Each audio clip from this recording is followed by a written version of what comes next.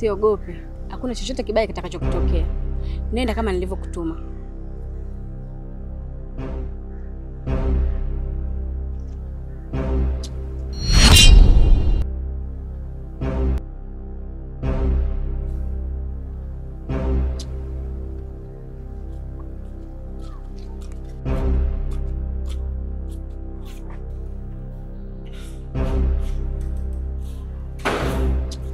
Chini, sitaki mnisalimie. Ujio wangu huu nimewafuata wale wanafunzi niliokuta kule majalani kwa yule chizi. Si mnanielewa eh? We patronize wewe, unashangaa shangaa nini wewe? Wewe ulikuwa hapo kule majalani? Nadhani mnanielewa vizuri eh? Msinifanye na mimi kichaa. Kama yule kichaa mmeenda kushindana kule majalalani. We patronize. Unashangaa nini? Naomba upite hapa mbele.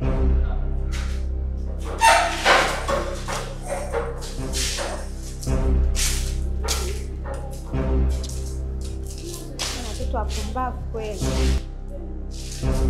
Sasha, Sasha. Fanya haraka. mtimtie ndawazimu. Eh. Sogea huko bwana wewe.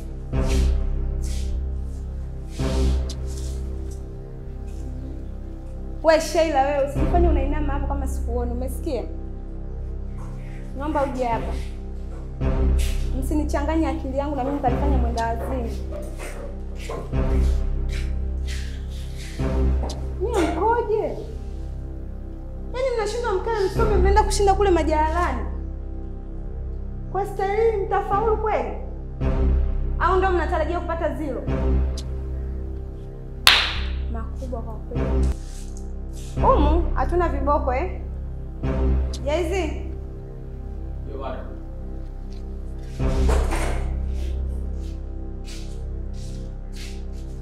Naomba uende ukaniletee viboko. Viboko kumi na tano.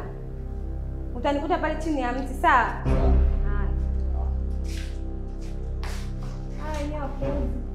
Twendeni huko. Kwanza. Machokoraa kubwa yenyewe.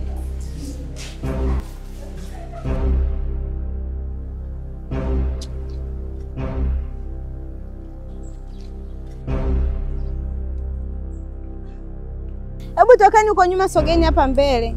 Mnakaakaa tu nyuma yangu, waone kwanza.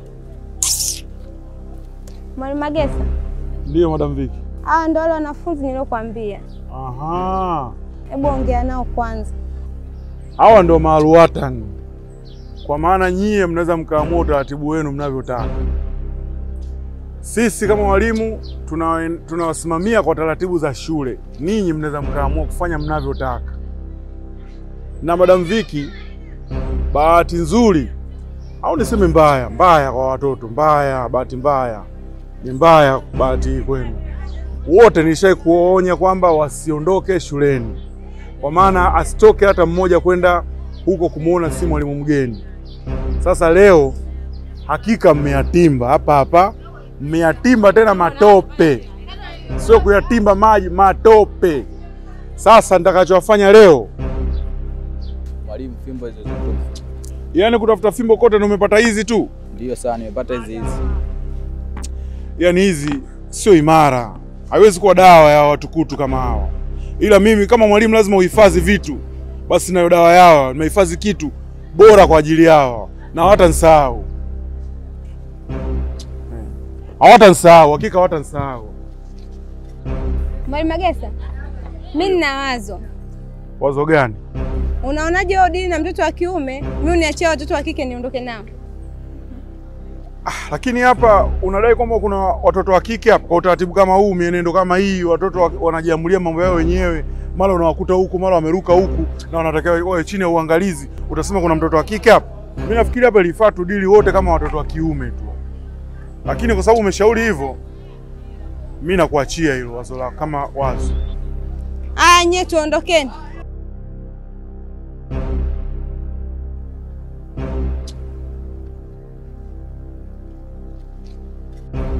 Sasa unajua, kati yenu kuna ambao wananituhumu mimi nimemloga mwalimu mgeni, na wameshaonyesha kabisa wangu wazi kwangu kwamba wana, wana, mimi ni, ni mwalimu Mgeni, nifanye nini, lakini na wewe kwa sababu tu ya ushabiki wako au upenzi wako wa moyo umemkusanya wasichana unaenda nao jalalani. Wewe ni kama hilo nao ni. Haya, tunaongozana na wasichana, tukueleweje? Mvulana kila wakati unaongozana na wasichana, lazima ubalance kwamba wewe mvulana unakaa na wavulana wenzio wakati fulani. Au sasa leo mimi nakuchapa fimbo kumi na mbili na kunyosha leo. Simama haraka haraka, shika mezani, nifanye yangu. Shika meza, shika meza, shika meza.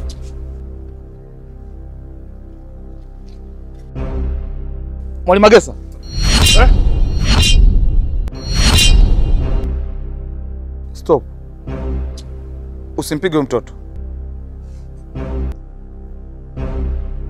Alichokifanya sio makosa na hastahili kuadhibiwa. Mwache huyu mtoto, zungumza na mimi. Patronize, nenda darasani.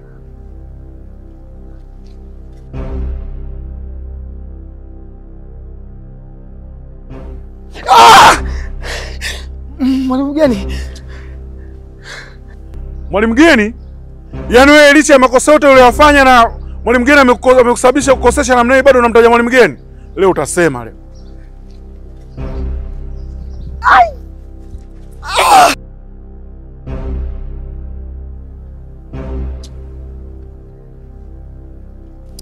Sasa nataka niwaadhibu. Sijataka kumwachia mwalimu Magesa awaadhibu, ndio maana nimewaleta hapa. Kama mwenye sababu za msingi anaweza kuniambia, aniambie kabla sijawaadhibu. Madam, mimi na sababu ya msingi kabisa. Sisi tumetoka pale kwenda kumwangalia mwalimu baada ya kupata madhara yale, kwa sababu ni mwalimu ambaye alikuwa anatufundisha hapa shuleni, na sio tu kutufundisha madam, ni mwalimu ambaye alikuwa anatufundisha na alionua vipaji vyetu na alikuwa anatusikiliza tunapokuwa na shida zetu. Ndio maana sisi madam apata apata mwalimu madhara, tumepata moyo wa kwenda kumuona, kwa sababu mwalimu amepata matatizo. Mwalimu, mimi nachojua kwamba mtu akipata matatizo sio kwamba ndio nyinyi inakuwa kitu cha kumtenga, hapana. Ndio maana tumejiorganize na wenzangu, tumeenda kumuona kwa sababu ni mwalimu ambaye nini alikuwa anatufundisha. Koma, hiyo sio sababu ya msingi. Wewe alichokiongea mwenzangu na mimi utakuwa nakiongea iko iko. Hata kama mimi nikiongea wewe utakikataa. Kama watuchape tuchape tu.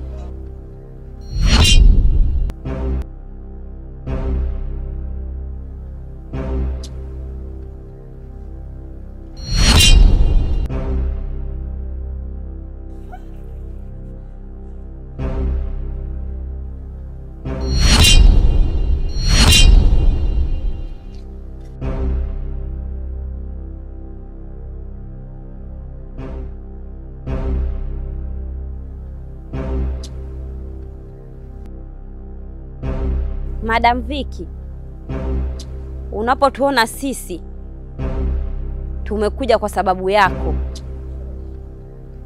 maana tumekuja kukuonya unachotaka kukifanya usijaribu kabisa kukifanya, maana kitachokuja kutokea utajuta. Huwezi kuadhibu wanafunzi hawa kwenda kumwona mwalimu ambao anawapa furaha darasani. Kitu kama hicho hakiwezi kutokea.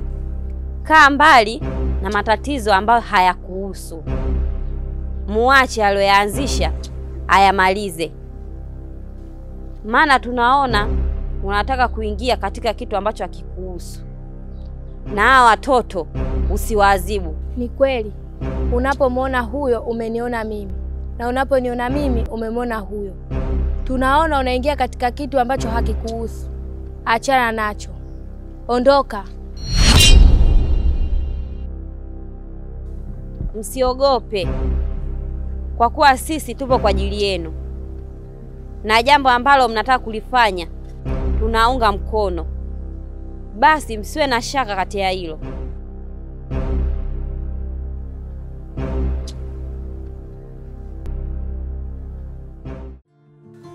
Jamani, yule si mwalimu mgeni yule? Nilikuwa naota au nilikuwa nawaza?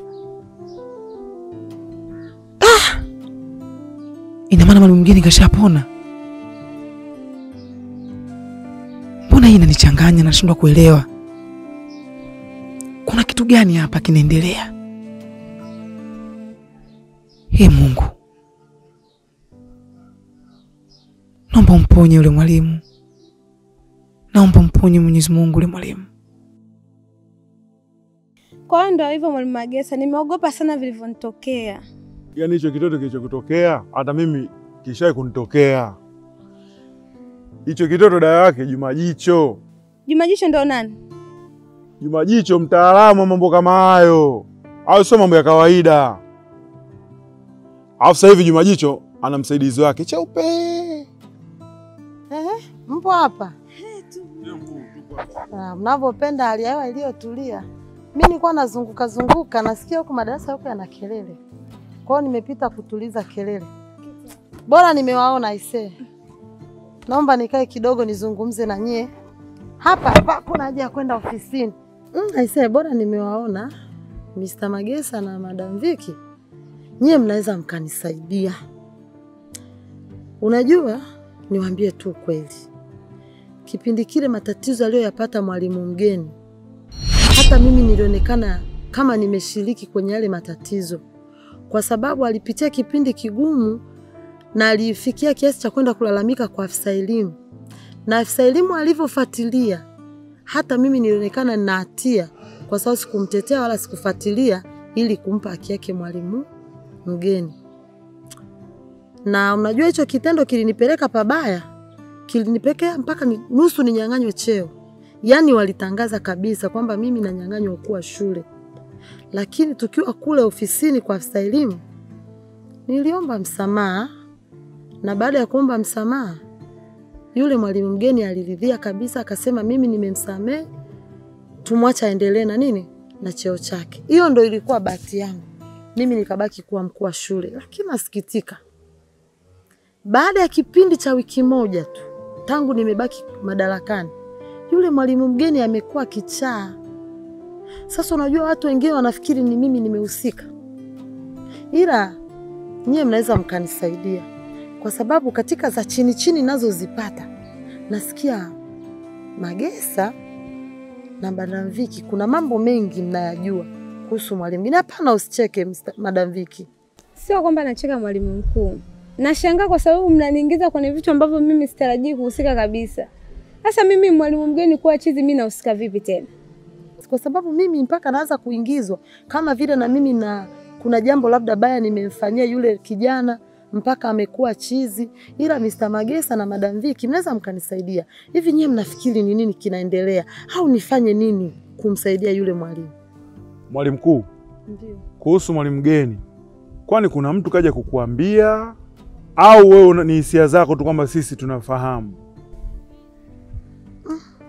Swali lako nalo linakuwa gumu kwangu, ila ni kwamba tangu nyuma ulivyofanyika upelelezi hadi hafsa elimu alionyesha kwamba sintofahamu zenu zimeisha, mmesameana, lakini hapa katikati sijaelewa vizuri. Yani nyie, naomba mnipe ushauri, tufanyeje ili niweze kumsaidia? Yani kama wewe Magesa, nimfanyeje kumsaidia? Hata katika jamii ndivyo inavyokuwa. Watu huja na hisia zao na watu wakatafsiri na baadaye akawepo makosa. Sasa tutajuaje kama swala hili ambalo umeliongea nyeti sana kuhusu mwalimu geni na maisha yako ya kazi, sisi tukiliongelea halitatuingiza katika matatizo? Labda yeye mwenyewe anaweza kuja kutueleza. Kichaa jamani, ataongea Magesa. Ah, mi nilifikiri unaweza ukawa na jambo lolote eti Madam Viki, tukasaidiana kumrudisha salama mwenzetu, kwa sababu hata mimi nahangaika. Kuna watu kwenye jamii wanafikiri mimi ndo nimefanya kichaa. Au Magesa, wewe wakisema wewe ndo umemfanya kichaa, utajisikiaje? Mi nachofikiri mwalimu mgeni amevuna alichopanda, kama ambavyo msemo wa wahenga unasema, mtu huvuna alichopanda. ajapanda kibaya jamani, mpaka ananirudishia cheo changu, anasema mbele ya afisa tumsamehe, tumsame, ananipa cheo madaraka. Hajapanda kitu kibaya kwangu. Mambo ya maisha. Anyway, unajua nimewasikiliza, nadhani na nyie mmenisikiliza. La mwisho ambalo napenda kusema, mimi kwa sasa nataka kufanya kazi yangu ipasavyo. Sitaki tena kurudia uzembe katika uchapaji kazi. Kwa hiyo niwaombe kitu kimoja, Nitakavyoendelea kufuatilia hili jambo nisikute kuna mtu kati yenu amehusika. Haise, nitahakikisha haki inachukua nafasi yake. Sikiliza mdogo wangu, mi ni mtu mzima na mtu mzima kusahau ni kawaida tu. Ulivyokuja kule nyumbani kuniliza ile kopo, yani nimesahau kabisa. Hivi uliniambia ile kopo ni nifanyeje? Nilikwambia Karibu mdogo wangu. Ehe, nakusikiliza. asante. Mi naitwa Bakrisha. Samani dada yangu, kuna mtu kanituma nikuletee ile kopo. Baada ya ilikopo kulipokea, kuna maelezo nitakupa, mambo yafuate. Alonituma hilo kopo, nikanyambia ufuate maelekezo haya. Ili kopo anatakiwa afungwe shemeji yako, ni mdogo wa mume wako, na anayetakiwa kumfunga ni mumeo,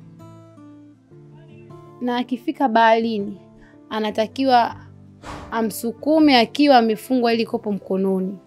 Baada ya kumsukuma baharini, anatakiwa aende sokoni na akanye katikati ya soko, maana akienda kunya sasa hivi itakuwa kazi bure tu. Bora afanye hicho kwanza alichoambiwa, tushimiji yako atapona. Sawa, nimekuelewa, lakini kwa sasa mume wangu katoka, ila baada ya siku tatu atarudi. Akisharudi nitakuomba uje hapa nyumbani. Umenielewa mdogo wangu? Okay, sawa, nimeelewa mdogo wangu, na nimekumbuka kabisa, kumbukumbu zote zishakuja, lakini kuna ulazima kuongozana naye mdogo wangu. Kulikuwa hakuna lazima huo, lakini uliniambia baada ya siku tatu nije, ndo nimekuja. Sawa mdogo wangu, nisikuchoshe. Tukikuhitaji utakuja basi huko tu- ulikotuelekeza. Hakuna shida mdogo wangu, tuko pamoja.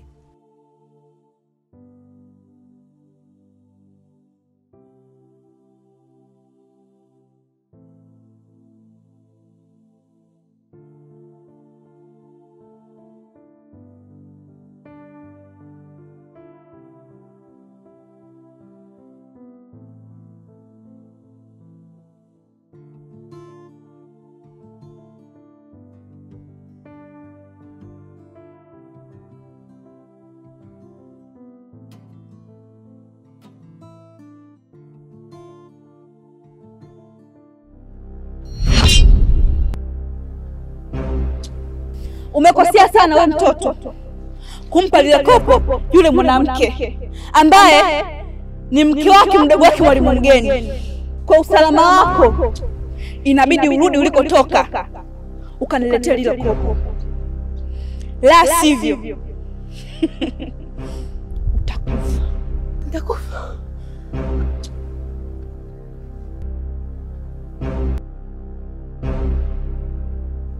Umekosea sana wewe mtoto.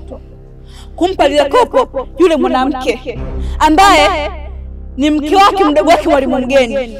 Kwa usalama wako inabidi urudi ulikotoka ukaniletea lile kopo, la sivyo.